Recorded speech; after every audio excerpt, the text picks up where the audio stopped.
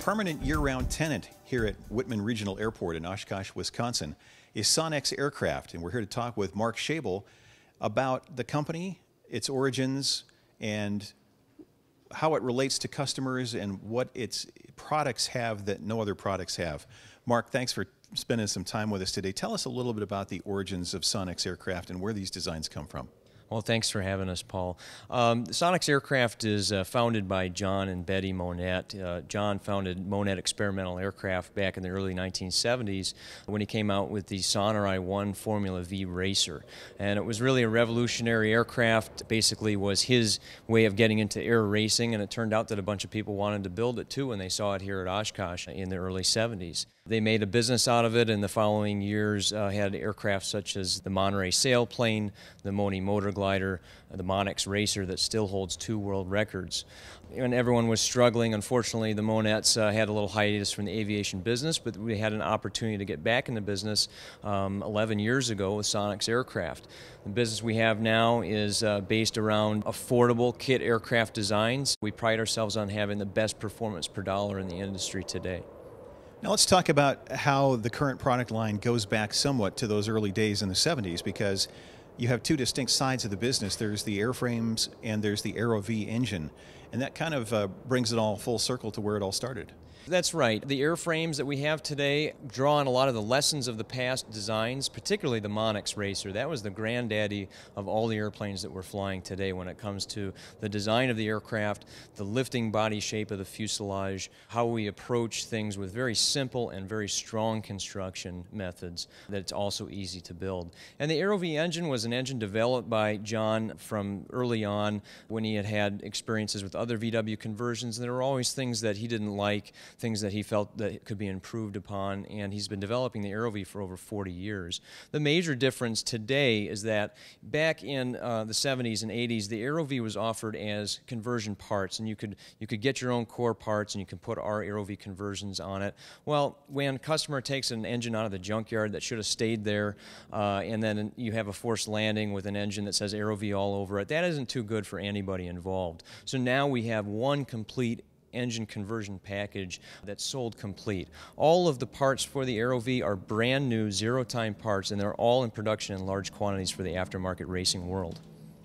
All right, well, we're going to take a, a brief break, but we want to get shown around here and you can show us what goes into these aircraft. All right, sounds good, Paul. The beauty of the Release 9 system architecture is that you have two fully redundant integrated flight displays. Each has access to all the systems and data. Providing full redundancy and eliminating traditional reversionary modes, Release 9 allows either display to be configured as the PFD. Now, your failure modes are much more manageable because you can continue to fly with the same familiar display symbology without the need to relearn composite modes you don't typically fly with. Avidyne's Entegra Release 9 is truly the next generation in fully integrated flight deck technology. Well, we haven't suddenly gone to Steak and Shake or some little diner in Oshkosh. We're here in the Hornet's Nest Cafe, which is actually inside the hangar at Sonex Aircraft. Mark, tell us about this, this room. Well, this is kind of the world famous, uh, if you will, Hornet's Nest Cafe, and it's something that, that John Monnett kind of put together back when he first built this hangar and he was restoring Cubs and Vagabonds. It's kind of the gathering place for all the local airport people uh, at lunchtime basically started out where they would be over here complaining about the airport manager at the time. And that's so it was a hornet's nest of conversation that they were kicking up every time they got together. So that's where we got the name. Later on, then translated really naturally into our hornet's nest research and development facility because, you know, Lockheed has their skunk works, so we had to have our hornet's nest. All right, let's talk briefly about the, the various aircraft lines because they all have similarities, but they're distinct in their in their specific missions. Tell us about the difference. Well, the Sonex, uh, it was the first aircraft to come along and was the first designed. Basically, it was designed originally to conform with European microlight standards because there was a request for that, and that was the original uh, design specification and what we were, the market we were going for. It was actually designed to be in production in Europe for that purpose, so it really drove a lot of what we did with how we did the plans and the level of detail that the plans are drawn in. It just happened that the microlight standards were the model used for the United States Sport Pilot regulations, and that happened to work out really well for us. The Sonex is a two-place, all-metal, side-by-side seating sport plane, and it offers incredible performance. It's an aerobatic aircraft. We have always believed that even if you don't want to do aerobatics, it's nice having all that safety margin of an aerobatic-capable airplane. All of our aircraft have the philosophy of just being dirt simple. They need to be very simple, reliable, they need to work. There's only so many weekends in a year, and a lot of them are filled up with birthdays and holidays, and you don't have a lot of time to be tinkering and messing around with, uh, with a complex aircraft uh, when all you're doing is flying for recreation. After the Sonex came along, we built the Waiex and the Xenos motor glider. The Waiex is just simply a Sonex with a Y tail on it, or many people say a V tail, but if you look at it closely, it has the little stub rudder on the bottom, which is why we call it a, a Y tail. There's really no reason for it other than the fact that we love how it looks. The Waiex reflects the heritage of the earlier Monnett experimental designs, such as the Moni motor glider, the Monerai sailplane, and the Monex Racer especially, and it's just something that we're passionate about, having an exotic, cool-looking airplane. It flies exactly the same same as a Sonex. You need a rear view mirror to tell which one you're flying. We came out with the Waiex because we love it, and we knew that some other people would too, and that we'd sell some. The Xenos motor glider is exactly that. It is a 24 to 1 glide ratio sailplane that is self-launched. It's also aerobatic. It's a 6G airplane when flown single pilot, just like the Sonex and the Waiex.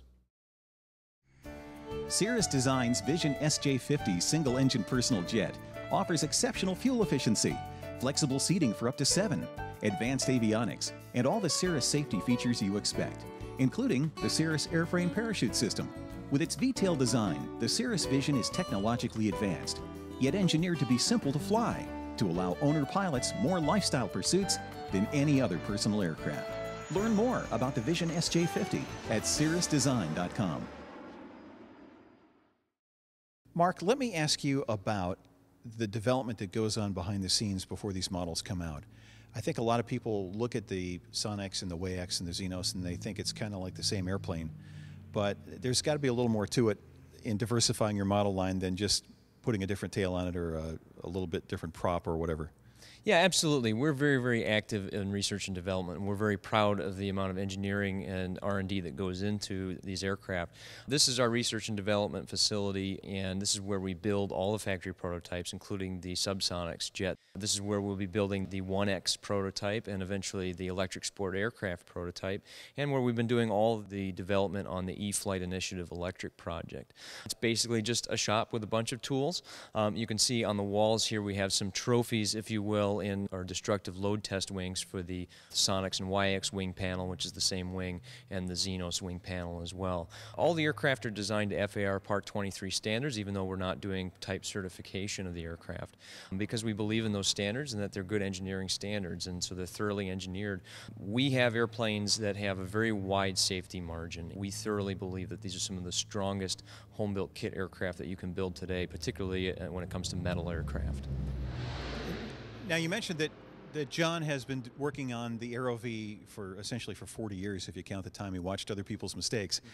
What kind of ongoing research is is going into the engines and power plants, or is that pretty much a, a fixed uh, point right now? Oh no, it's not fixed at all. Uh, the AeroVee is always being uh, developed. We reserve the right to refine our products continually, and that's what we're doing. Particularly with the AeroVee, the whole Aero Conversions product line is uh, probably one of the most exciting parts of our business when it comes to the AeroVee. What we're doing with it when it comes to ignition technologies, things with the AeroCarb uh, line of products, which is sold for a multitude of different engines, including being used on the AeroVee.